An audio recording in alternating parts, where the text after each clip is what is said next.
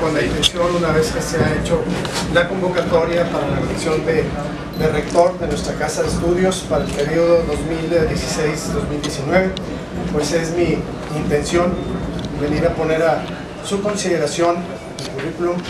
mi trabajo y poder contender para este nuevo periodo.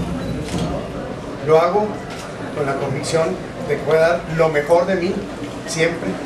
como hace 32 años que inicié aquí en la universidad dando clases,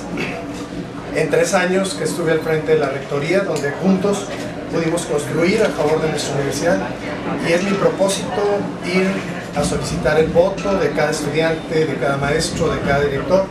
para que juntos sigamos construyendo a favor de la calidad de nuestros estudiantes y que sea nuestra máxima casa de estudios en el Estado la que siga llevando ese liderazgo.